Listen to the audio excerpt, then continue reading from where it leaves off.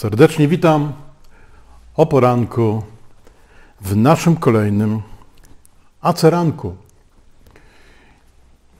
Jeśli pozwolicie, drodzy bracia i siostry, bo to e, głównie e, do wierzących dzisiaj dedykuję e, ten, głównie wierzącym dzisiaj dedykuję ten aceranek, to chciałbym słów parę powiedzieć na temat funkcjonowania Kościoła w tych czasach, które no, różnie są określane. Niektórzy mówią, że to już koniec czasów, inni mówią, że to minie.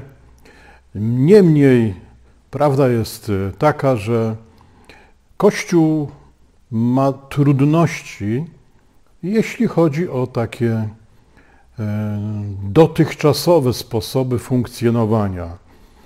I to nie ulega żadnej wątpliwości. Czy my coś możemy poradzić w tej sytuacji?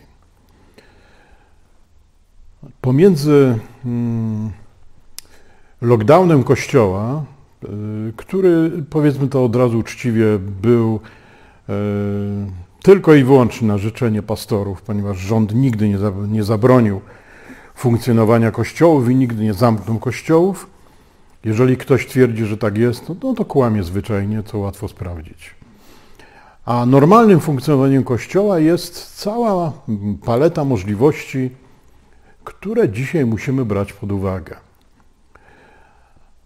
Otóż y, musimy zapomnieć wreszcie o tym, co było półtora roku temu i przestać sięgać pamięcią do tamtych wzorców, ponieważ te wzorce może nam odpowiadają organizacyjnie, ale były fatalne, jeśli chodzi o e, wychowanie e, w duchu wiary, o wychowanie w takim duchu czystości, etyki, moralności.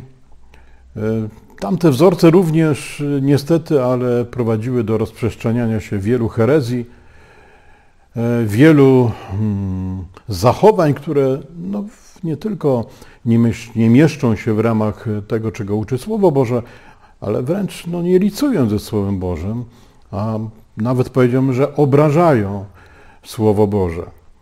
Po prostu musimy Kościół zmienić.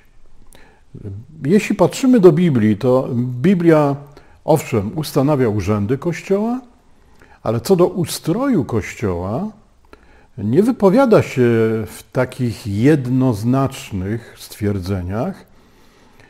Owszem, y, kościoły miały swoich y, prezbiterów, biskupów, zamiennie używano te dwa określenia pastorów. Też czasami y, pasterze tutaj byli, byli porównywani, czy też no, byli na, na tym samym poziomie, na którym byli prezbiterzy czy biskupi. E, jeżeli ktoś chce mi napisać, że, że Biblia nic nie mówi o pastorach, to niech się nauczy czytać Biblię, a później wypisuje głupoty.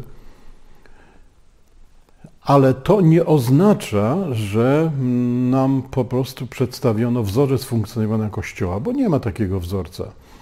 I myślę, że to było zupełnie e, świadome działanie Ducha Świętego, ponieważ nie tylko te wzorce mm, muszą być gdzieś e, e, wtopione w kulturę danego narodu.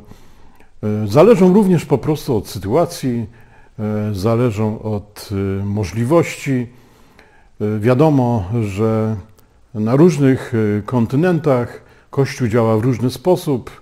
Nie wszędzie jest tak samo prześladowany, gdzie niegdzie jest w ogóle nie prześladowany a w innych miejscach jest straszliwie prześladowany. Trudno, żeby wszystkie kościoły były tak samo zorganizowane. My jesteśmy w Polsce i powinniśmy zadbać o to, aby kościoły w Polsce zaczęły normalnie funkcjonować. Pierwsza, najważniejsza rzecz. Po prostu Kościół powinien przestać się bać. Ja wiem, że to łatwo powiedzieć, ale jeżeli się boimy, no to właściwie możemy przerwać w tej chwili to słuchanie tego odcinka, no bo, no bo po co nam to? I tak niczego nie zrobimy. Ale jeśli Kościół się nie boi, a bać się nie powinien, bo nie ma się czego bać, możemy się bać Boga powinniśmy się bać Boga i to jest wszystko. No to teraz powinien zadbać o swoich członków. Powinien umożliwić wszystkim nauczanie, troskę duszpasterską, opiekę, wspólnotę, możliwość społeczności i od razu powiedzmy sobie to jasno, nie jest to możliwe na żadnym Zoomie, to są głupoty, bzdury i oszustwa.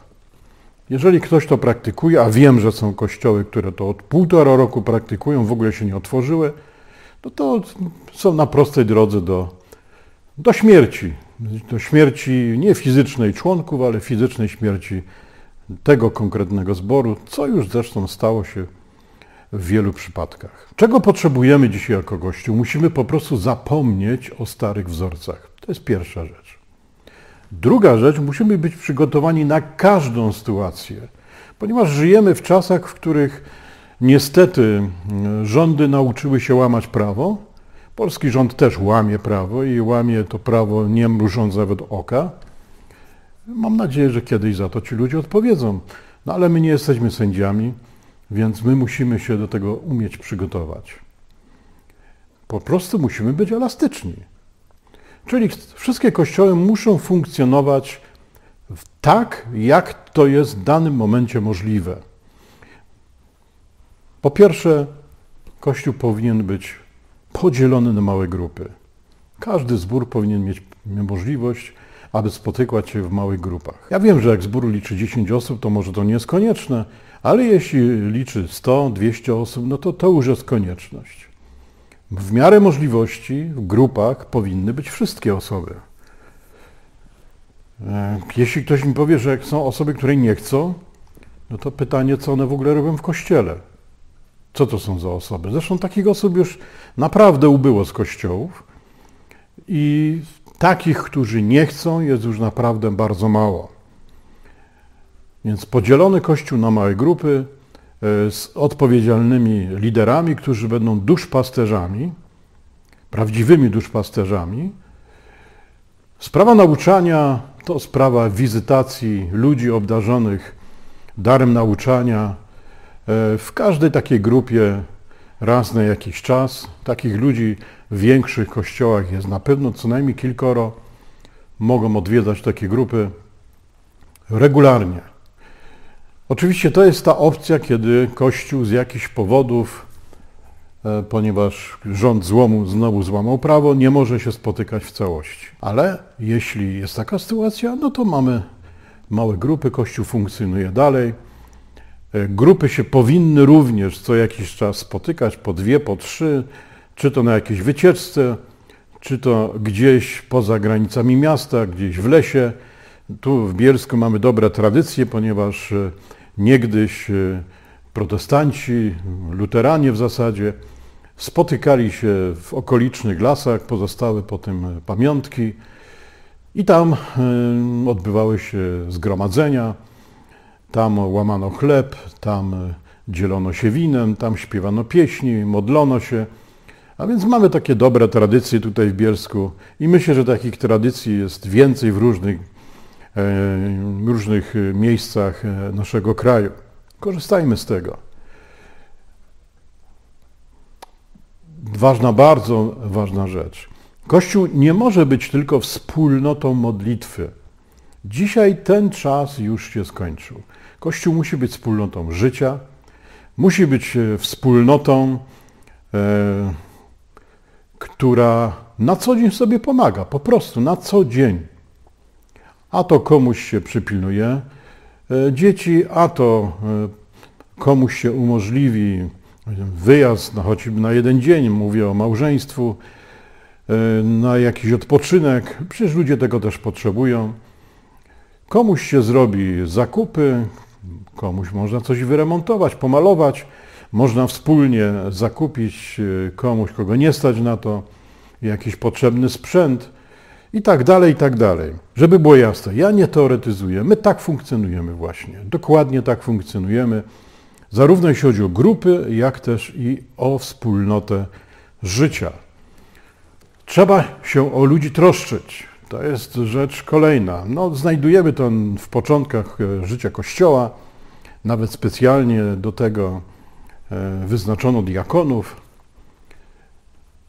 i ci ludzie głównie mieli się zajmować właśnie troską o wdowy, sieroty, No ale wiadomo, że ich służba była o wiele szersza, no i chwała Bogu, bo Bóg sobie sam ludzi wybiera i sam ich prowadzi.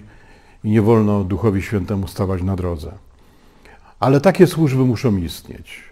Można wspólnie ugotować obiad, można ten obiad roznieść, szczególnie ludziom starszym czy chorym, e, czy też po prostu biednym, bo mi przecież takich nie brakuje e, w kościołach. E, są też ludzie, którzy potrzebują po prostu wsparcia. Musimy o tym wszystkim pamiętać, żebyśmy nie zagubili się w tych dzisiejszych czasach i żebyśmy któregoś dnia nie zorientowali się, że nasze chrześcijaństwo polegało na chodzeniu w niedzielę gdzieś, a kiedy już tego gdzieś zabrakło w niedzielę, no to, to się skończyło nasze chrześcijaństwo, już nie wierzymy w Boga, już Biblia nie ma dla nas znaczenia i tak dalej, i tak dalej. I też nie mówię o czymś teoretycznym, dlatego że e, te ostatnie e, kilkanaście miesięcy pokazało, że takich ludzi w kościołach było sporo. E, dzisiaj niemal we wszystkich kościołach, we wszystkich, o których wiem, ale przecież o wszystkich nie wiem, nie ma tylu ludzi, ile było przed pandemią. No i coś się z nimi stało. No właśnie to tacy ludzie byli, którzy gdzieś chodzili, gdzieś zabrakło, gdzieś zniknęło, no i przestali chodzić i jest im tak dobrze, jest im to obojętne. No ale pytanie, kto jest winien temu e, stanowi rzeczy, bo przecież ktoś tych ludzi prowadził, ktoś ich nauczał, podobno. E, ktoś im e, wykładał prawdę wiarę, ktoś zakładał fundamenty. Widocznie wszystko to było zrobione byle jak, po łebkach. No i owoce niestety są, ale te owoce nie są budujące i nie są zachęcające. Powinniśmy w tych czasach w szczególny sposób okazywać sobie miłość, powinniśmy być wobec siebie w szczególności cierpliwi, bo przecież powinniśmy rozumieć, że, że ludzie tracą pracę, na ludzi jest e, wywierana presja, czy to w sprawie szczepionek, czy to w sprawie na przykład obniżenia pensji i tak dalej, i tak dalej. Ludzie po prostu no czasami są zdenerwowani no i, i wybuchną i trzeba im umieć to wybaczyć. Trzeba umieć też ich przeprosić i przyjąć przeprosiny ze świadomością, że no trudno, no tak się po prostu w dzisiejszych czasach dzieje i trzeba się o siebie wzajemnie modlić. To jest niezwykle ważne, żebyśmy mieli też wspólnotę modlitwy, ale nie taką, że kiedy się spotykamy, tylko módlmy się o siebie w naszych domach. Módlmy się o Kościół w naszych domach. E, praktykujmy post po to, żeby Bóg mógł mieć nas do dyspozycji, żeby Bóg mógł nas używać. Zbory, które zakładamy, uczymy właśnie tego wszystkiego, o czym mówię. Jest moim ogromnym pragnieniem, żeby nasze zbory były zbudowane na fundamencie Jezusa Chrystusa, co oznacza, że mają być zbudowane na Ewangelii. Ewangelia jest zamknięta. Nie można do niej nic dodać, nie można z niej nic ująć. Szerzej można powiedzieć, że zbory nasze powinny być zbudowane na Słowie Bożym, które jest zamkniętym objawieniem, do którego nic się nie, niczego nie można dodać i niczego z niego ująć nie można. I jeżeli tak będziemy budowali fundament każdego zboru, to może tak się zdarzyć, że ta budowla na fundamencie no, będzie słabiutka z różnych powodów. Ale nawet jak się rozpadnie, to łatwo na tym zbudować coś dobrego na nowo, ponieważ fundament jest zdrowy, fundament jest mocny, fundament jest silny. I pamiętajmy o tym, żeby ludzi, którzy dzisiaj przychodzą do kościoła, budować na fundamencie Chrystusa, nie na fundamentach, na których jeszcze ciągle są ludzie budowani, bo przecież to widać w internecie, słucha się kazań. No, jakie są te fundamenty? No, to są fundamenty, wszyscy się kochamy. To jest taki fundament, Bóg bez względu na to, czy jesteś wierzący, czy niewierzący, jest Tobą. To nie jest fundament, to jest oszustwo. To jest bagno, w które człowiek wpadnie i może z niego już nie wyjść. Trzeba mówić ludziom prawdę. Prawdę. Ewangelia jest prawdą, Słowo Boże jest prawdą. Więc mówmy ludziom prawdę, uczmy ich prawdy, przygotowujmy ich do tego, że czasy są złe, że w tych czasach, jeżeli nie będą znali prawdy, to zginą po prostu. Nie dziwmy się, że ludzie uciekają z kościołów, ponieważ nie znają Słowa Bożego. Może ktoś powiedzieć, ale jak to jest możliwe? No przecież przez lata chodzili do zborów. No właśnie, chodzili. Chodzili i na chodzeniu się skończyło. Wystarczało im chodzenie. Ale kiedy świat zaczął ich atakować, no to uciekli, przestraszyli się, przerazili się, uwierzyli światu, a nie uwierzyli Bogu, który ponoć jest wszechmogący. Ponoć dla nich, dla mnie jest Bogiem wszechmogącym. Drodzy bracia i siostry, proszę Was, żebyście zastanowili się nad funkcjonowaniem Waszych kościołów, Waszych zborów. Zwróćcie uwagę na to, czego tam brakuje, co powinno być jeszcze e, zaordynowane, w czym powinniście jeszcze e, wykazać się no naprawdę i miłością, i cierpliwością, i też determinacją, aby te nasze kościoły mogły, nasze, mówię o wszystkich istniejących w Polsce kościołach ewangelikalnych, mogły się dobrze rozwijać i mogły przynosić odpowiedni rezultat. Mogły być taką przystanią dla ludzi, którzy szukają dzisiaj Boga, którzy się naprawdę boją tej całej pandemii i tego całego te szaleństwa, które się rozpoczęło na świecie. Kościół ma być ostoją, ma być fundamentem, ma być oazą pokoju, spokoju, miłości, życia, nadziei. Kościół ma innych zarażać swoim życiem. Amen.